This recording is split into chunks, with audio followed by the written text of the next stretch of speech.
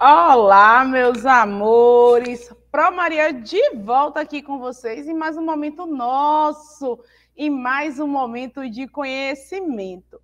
E aí, vocês já aproveitaram, já foram lá no nosso canal, né? Já se inscreveram, já ativaram, ativaram o sininho das notificações, né? Para se embolando toda para poder pedir aquele biscoito. Já curtiram, comentaram e compartilharam os nossos vídeos? Pois é, dê essa moralzinha lá para a Pro Maria. Só arruma a postura de vocês aí, porque a nossa aula já vai começar. Pro Maria não quer ninguém aí, né? Jogado pelo chão, nada disso. Vamos começar aqui mais um momento nosso, mais um momento de conhecimento. Estão-se curiosos para saber o nosso tema de hoje, que a Pro já vai compartilhar aqui, né? O tema da nossa aula de hoje. Vamos lá, vamos lá. Bom, no nossa Educação para a Vida, o tema de hoje é consumo consciente da água. Já falamos aí né, do descarte correto do lixo, falamos sobre sustentabilidade, sobre os três R's e vamos falar aqui do consumo consciente da água. Hoje, né, nossa aula é de número 15, para Maria Moreira aqui, ó, juntinho com vocês. Vamos lá? Bom, você já parou para pensar como a água é importante? Pararam.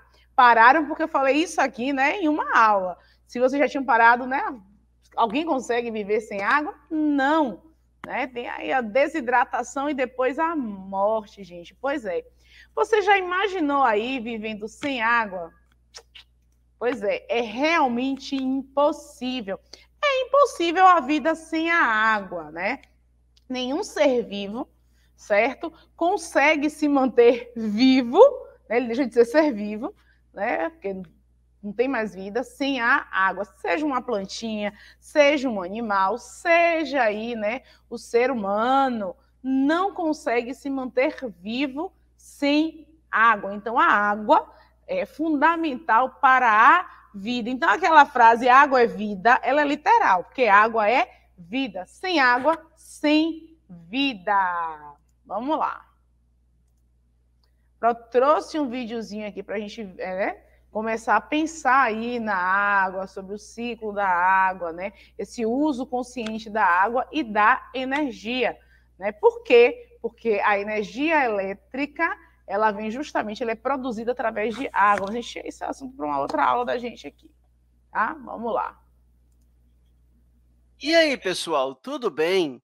Nessa aula, nós vamos falar de coisas importantes do nosso dia a dia. E uma dessas coisas que nós vamos tratar aqui é a importância da água para a vida e clima do planeta. E, claro, antes de tudo, é sempre bom lembrar que sem água não haveria vida em nosso planeta. Ou seja, ela é de extrema importância.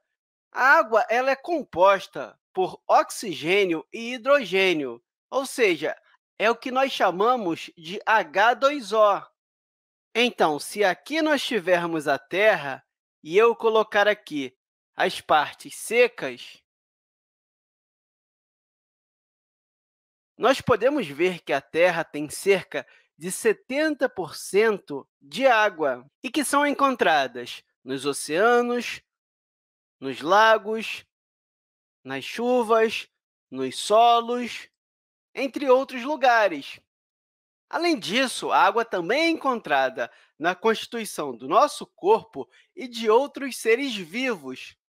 Para você ter uma ideia, o corpo humano e os seres vivos têm cerca de 70% de água em seus corpos.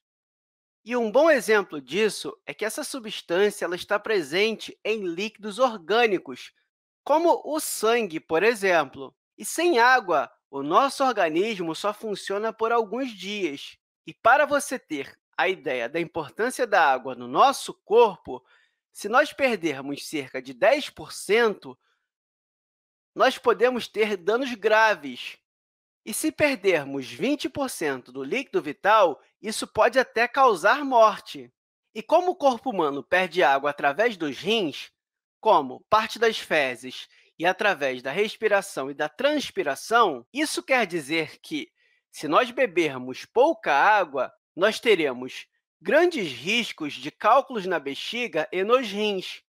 Ou seja, quanto menos água você bebe, mais riscos você tem. O ideal é você consumir cerca de 2 litros de água por dia. E se nós formos para o lado aqui, nós também vamos ver que a água é importante para a agricultura. Isso porque ela ajuda na irrigação dos campos. Isso porque, para suprir as necessidades de alimentos, o homem cultiva cereais e cria gados, onde é preciso água para irrigar os campos de pasto, saciar a sede dos animais e fazer com que os alimentos cresçam.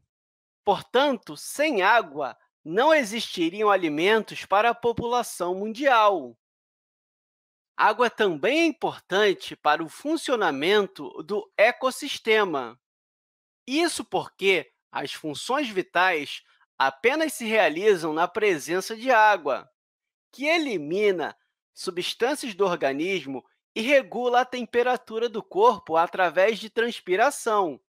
Já no caso das plantas, água é necessária para que elas possam fabricar o seu alimento através do processo de fotossíntese. E, claro, a água também é importante no clima. Isso porque ela age na formação de chuvas e também na umidade do ar. Isso porque a evaporação da água doce das principais fontes hídricas, que são rios, lagos, represas e açudes, são importantes para a formação de chuvas e umidade do ar. Bem, deixa eu chegar para o lado aqui. E apesar de toda essa água aqui no nosso planeta, nem toda ela é potável. Ou seja, água potável é a água que nós podemos consumir. Ou seja, ela reúne características que a colocam na posição de consumo para o ser humano. Portanto, a água potável deve estar livre de qualquer tipo de contaminação. E para você ter uma noção da quantidade de água que se pode consumir no planeta, cerca de 97,2% dessa água aqui é água salgada e aproximadamente 2,8% é água doce. Isso porque a maior parte de água no planeta está nas calotas polares e geleira de montanhas. E a água potável ela pode ter uma fonte natural ou então obtida através de um processo de tratamento físico ou químico, que é realizado nas ETAs, que são as estações de tratamento de águas. Mas, enfim, o que eu quero deixar claro é que a água é bastante importante no nosso dia a dia. E, por isso, é preciso saber usar a água de forma consciente. Mas eu espero que essa aula tenha te ajudado e até a próxima, pessoal! A Pró estava sem áudio, mas eu já voltei. Estou aqui para vocês com áudio falando pelos cotovelos, como sempre. Lá no finalzinho do vídeo, ele diz o seguinte: olha, o, é, a importância aí desse consumo consciente para o quê? Olha, o consumo consciente da água. Mas aí a prova vai perguntar para vocês uma coisa. Se você tem uma coisa extremamente importante, pronto, uma coisa importante, você vai cuidar dessa coisa ou você vai deixar ela à toa? Você vai cuidar, certo? Exatamente. Assim a gente tem que fazer com a água. Olha, água é importante para a planta, a questão da fotossíntese precisa da luz, da água. A água é importante para o ser humano, porque senão os rins eles vão parar, né? E a gente vai ter uma desidratação. É importante para os outros animais, para a agricultura, para tudo. E aí, eu, né, no ápice da minha inteligência, vou dizer o seguinte: ah, ela é importante, mas eu vou jogar lixo no mar, vou poluir o rio, vou jogar esgoto nos riachos, vou deixar a torneira aberta vou tomar um banho no chuveiro, vou deixar enquanto dormir sabão, vou deixar a água lá, vou escovar meu dente, vou deixar a torneira também aberta. Isso faz sentido para vocês? Porque se uma coisa é importante para mim, eu vou cuidar dela, né? Vamos pensar aqui. Qual o brinquedo que você mais gosta? Você vai jogar ele fora? Vai pisar, sujar? Não, você vai cuidar. Aquela roupinha que você mais gosta, você vai cuidar. Aquele amiguinho você vai cuidar. Então, por que, que a água, que é algo tão importante, a natureza, né, que é algo tão importante na nossa vida, por que isso a gente quer desperdiçar, deixar à toa? Não faz sentido algum. né? Vamos lá, seguindo aqui. Bom, a água, gente, é fundamental para o funcionamento da vida.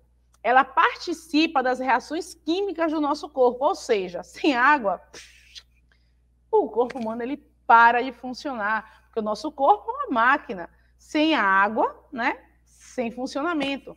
Né? Então, ela participa aí das reações químicas do nosso corpo, dos ciclos biológicos da natureza e é essencial na manutenção aí dos ecossistemas.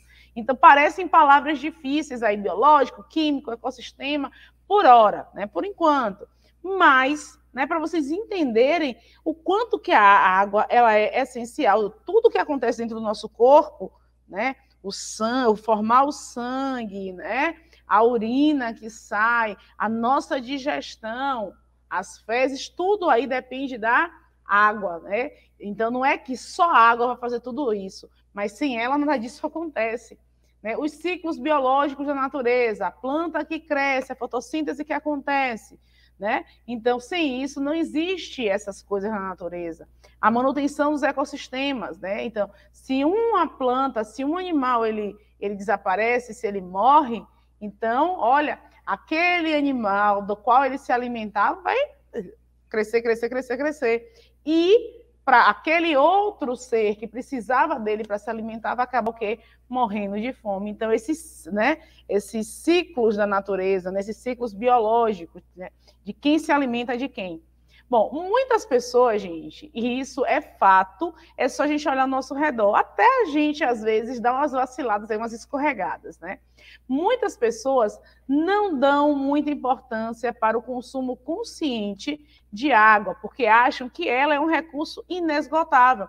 A Pro falou aqui com vocês a questão do ser inesgotável, mas, né? A potável pode acabar. O que é água potável? Aquela que eu posso consumir a água que eu posso beber, podendo ser utilizada aí à vontade. Não é por, ah, é inesgotável, eu posso utilizar à vontade, posso poluir, não. Se eu começo a desperdiçar, as reservas elas vão o quê, ó, acabando e aí vem o aquecimento global, não vem a água e aí o caos, né? A gente começa a sentir aí a falta d'água.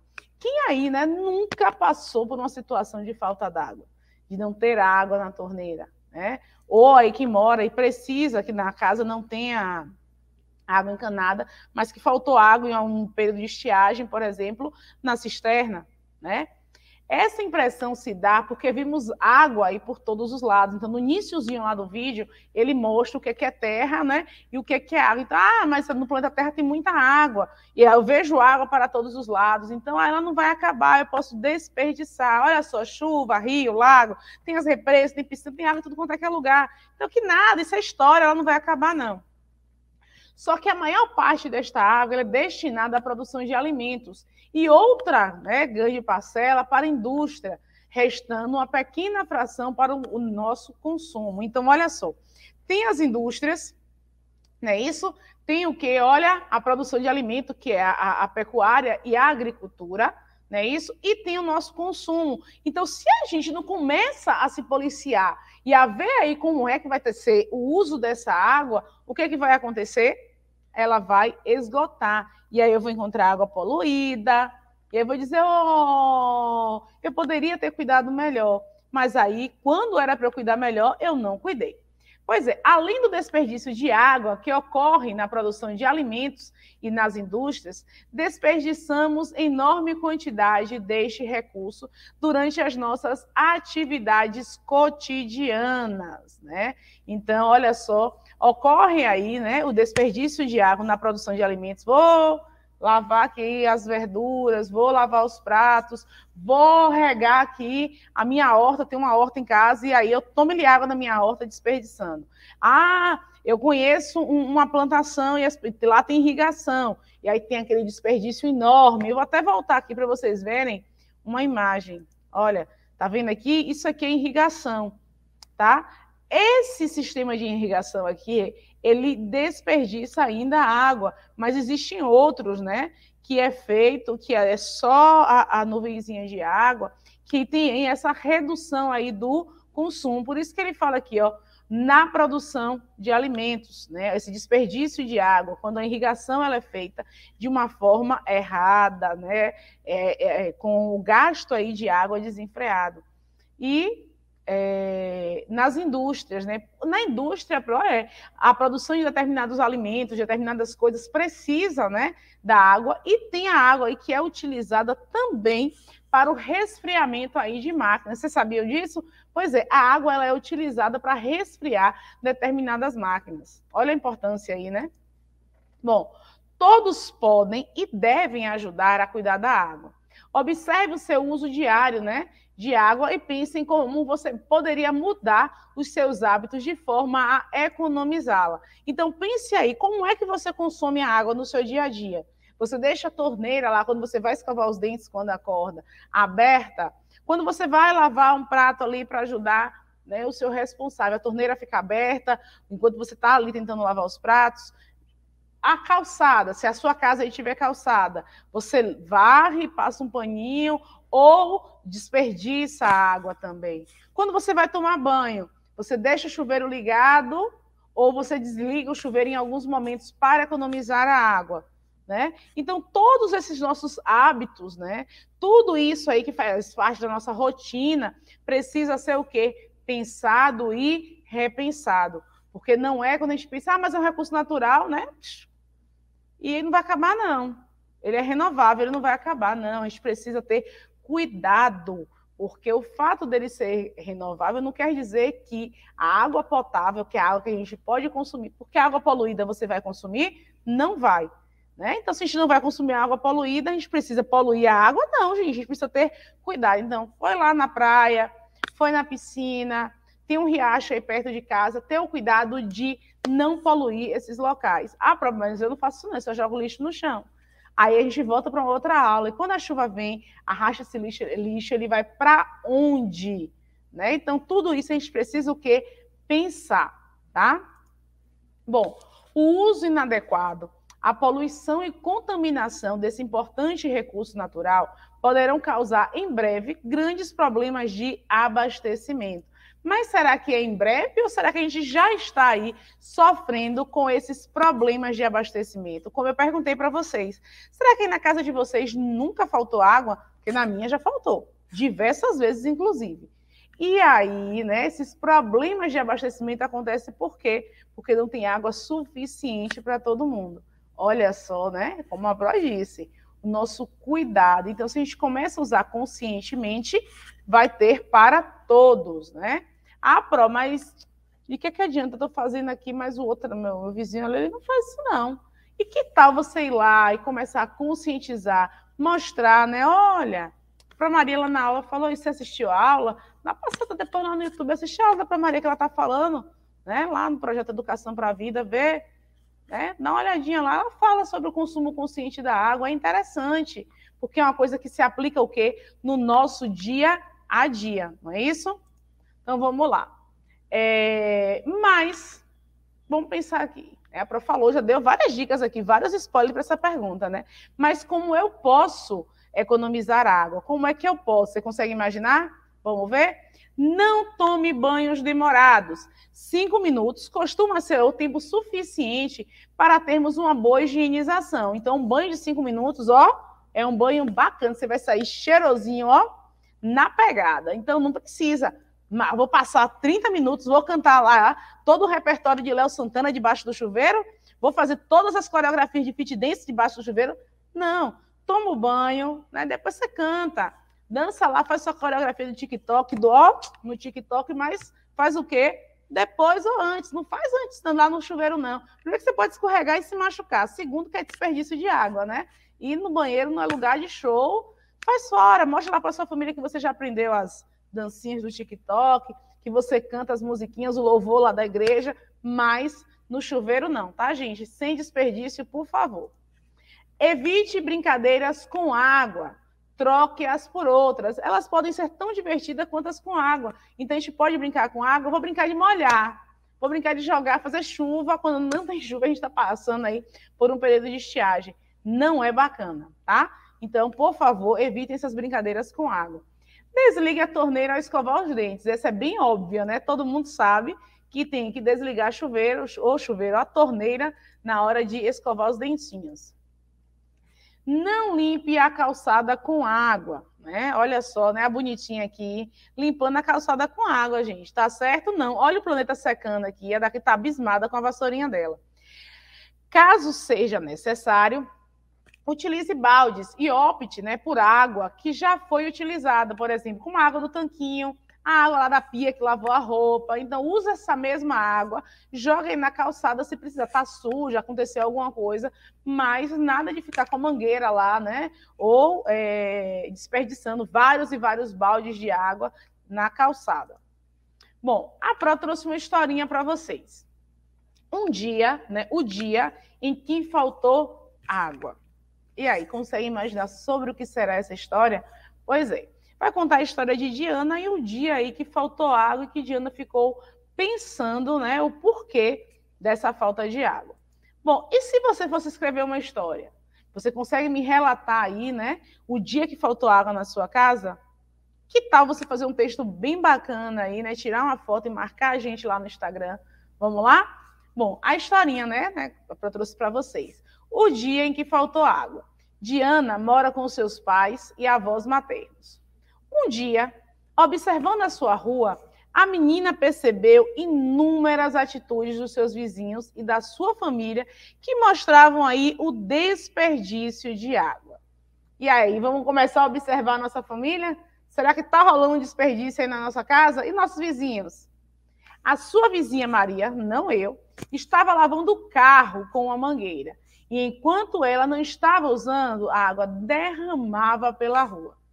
Seu vizinho da esquerda, Carlos, estava lavando a calçada, utilizando a mangueira do quintal, desperdiçando uma grande quantidade de água, enquanto Carlos esfregava sabão na calçada. Olha que situação, né? Tá parecendo certo isso aqui? Bom, dentro de casa, Diana percebeu é, que seu pai demorava bastante, né? é, no banho. Imagine só, né? O que a Pro falou. Nada de dancinha do TikTok, né? No banheiro, nada de cantar lá. Pois é. E que sua mãe deixava a torneira aberta enquanto lá passava sabão na louça da pia. Diana ficou pensativa com tudo aquilo, mas não comentou com a sua família. Ficou pensando, né? Poxa, a galera que está desperdiçando água legal, será que isso está certo, gente? Bom, passados alguns minutos, Diana escutou a sua avó reclamando do alto valor da conta de água. E sua mãe afirmou que todo o bairro estava sofrendo com a falta de água nas torneiras. Por, por isso, eles precisariam economizar. Né? Lá na conta de água de vocês, aqui vem assim, em Basa, né? Tem lá o consumo. Aí você pode me dizer, mas eu não vi uma variação no valor. Por quê? Porque existe um limite, até aquele lugar ali você pode consumir a água, passando daquele ali você começa a pagar mais. O que não te permite, na verdade, o desperdício. Porque acontece o que está acontecendo aqui na historinha. A falta o quê? A falta de água. Diana não sabia exatamente o que poderia fazer para consumir menos água, mas vocês se fossem aí colegas de Diana, quais dicas vocês poderiam dar, né? Ou se fossem vocês no lugar de Diana, o que, que vocês fariam? Mas se interessou, né? Ela não sabia. Olha que menina esperta. Ela não sabia, mas se interessou em pesquisar e compartilhar as informações com os seus vizinhos e familiares. Para tanto, buscou ajuda na escola, com as professoras e com os seus colegas. Então, Diana começou o quê? A procurar informações. Procurando o quê? Se informar sobre o que de fato ela poderia fazer. Ela pode, inclusive, Diana, né? Vai lá, assistir uma aula da Promaria, que a Promaria diz exatamente aí o que você pode fazer, certo? Bom, vamos ajudá-la? Se você estudasse com Diana, vamos ajudá-la, né? Se você estudasse com Diana, quais ações você pensaria para que ela, sua família e seus vizinhos economizassem mais água? Vamos lá, Pro deu várias dicas aqui para vocês, né? Da importância da água, o que, que poderia ser feito? Se fosse molhar um jardim, por exemplo, como era que poderia se molhar o jardim sem o desperdício? Será que se eu jogo um balde de água no jardim, resolveria? E aí? Se eu pego uma mangueira e saio lá, ó, resolveria? É só a gente lembrar da irrigação. O que é irrigação? Né? Aquele sistema onde né, a água ela é distribuída sobre uma plantação. Se eu pegasse uma garrafinha PET, por exemplo, fizesse um furinho e deixasse ali no cantinho do jardim para ela ir, ó, gotejando aos poucos, será que não existiria aí uma economia de água? E quando a gente vai limpar a calçada, que a Pro deu a dica aqui para vocês, né? Vou limpar a calçada, como é que eu posso resolver isso?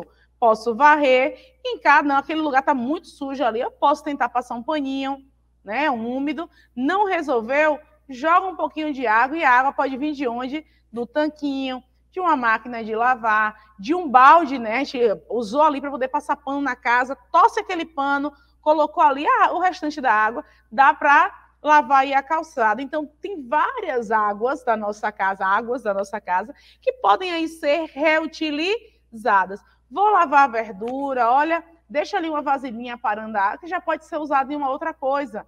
Né? Até na hora de lavar os pratos, tira toda a sujeira, né? faz as coisas né, organizadas para que essa água ela não seja o quê? Desperdiçada. Vai lavar roupa, né? Vê ali o nível de água, vê se realmente precisa dessa quantidade toda de água aí, vê tudo direitinho e organiza tudo bem direitinho para que a água ela não seja desperdiçada. A Pro falou do chuveiro, não foi isso? Tentei aqui fazer noção do TikTok negativamente.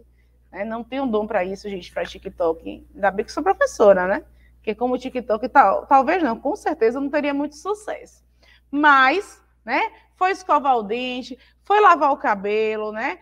Tenta, na verdade, diminuir o tempo de vocês com chuveiro, com torneiras abertas, certo? E está sempre o quê? Reutilizando as águas. Não quer dizer que você vai pegar a água do tanquinho que lava a roupa para tomar um banho, mas reutilizar as águas sempre que possíveis, porque a, a, água, mesmo sendo né, um recurso natural renovável, a gente precisa se preocupar muito com ela por conta da poluição e por conta do desperdício. Mesmo ela se renovando, a velocidade com que ela está sendo desperdiçada é tão grande, mas tão grande que a natureza ela não está dando conta. E a gente volta lá para aquele, né?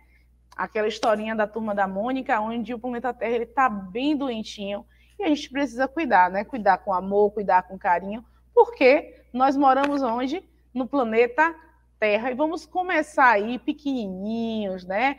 Fazendo esse trabalhinho aí de formiguinha, cada um fazendo a sua parte, conscientizando as pessoas que estão, né, no nosso convívio, os nossos responsáveis, os nossos familiares, os nossos vizinhos, para que isso tudo tome depois o quê? Uma proporção muito maior e que a gente consiga, de fato, preservar aí o quê? O nosso planeta.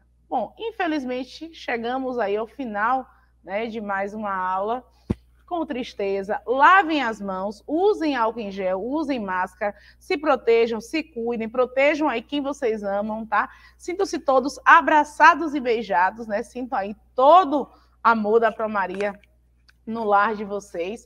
E sigam aí essas dicas, né? Porque só teve dica bacana aqui, né? Dicas que vocês irão levar aí para uma vida inteira. Tá? Comecem fazendo esse trabalhozinho de formiga, porque depois o ó vai tudo ficar, tomar uma proporção muito maior. Cheiro e até no nosso próximo encontro.